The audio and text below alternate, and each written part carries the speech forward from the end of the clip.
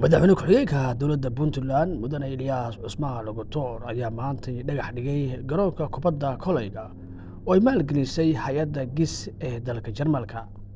Garoonkan ayaa laga dhisayaa magaalada garoowe ee caasimadda dowladda puntland.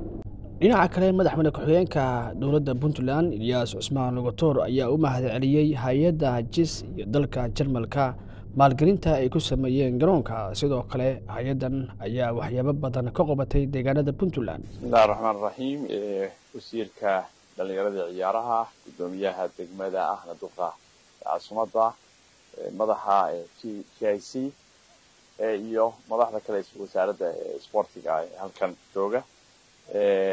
Asalaamu calaykum waraxmatullahi wabarakaatu waa waxaan maanta halkan ku dhagax dhigaynaa oo runtii mashruuc lagu horumarinayo sportiga.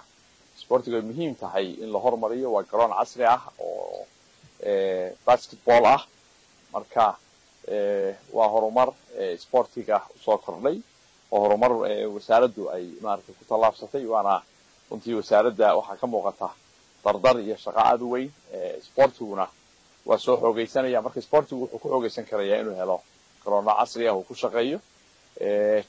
Jarmalku waa saaxiib markasta naga caawiya waxyaabaha kala duwan waana uga mahad celinaa jsad waa uga mahad celinaa runtii gudoomiyahana uga mahad celinaa dhulkan uu siiyey wasaaradda sportiga wasiirahoodana waxaan u rajaynaynaa horumar weyn wasaaradda inay ku tallaabsato intay joogto. Aad iyo aad ba umahadsantihin